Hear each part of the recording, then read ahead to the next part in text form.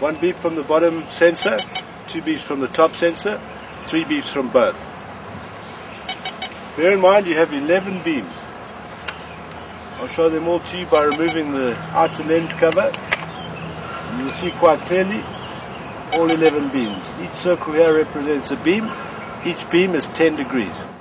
In this situation, I want to miss that staircase over there because if a dog ran up the staircase, it would break the bottom and the top beams, creating a miss trigger. So I would simply mask off with masking tape or installation tape these three beams. If the 15 minutes of walk test is not enough for you to perfectly align your beams, simply push in the tamper switch and you'll be given another 15 minutes. At the extremities of the RoboGuard's range, typically 20 meters, one of the eyes, if they're too high or too low, will stop detecting. To ascertain whether they're hitting the ground in front of you or going over your head, simply put your hands up, and if they trigger now, then you know the beams are too high. And one would have to adjust the top eye by lowering the beams a fraction.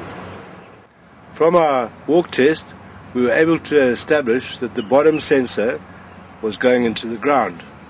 To raise it, one would have to loosen up this locking screw by turning it anti-clockwise and lowering the entire sensor. Work in half a millimeter increments as half a millimeter here would represent at least 3 meters at 20 meters.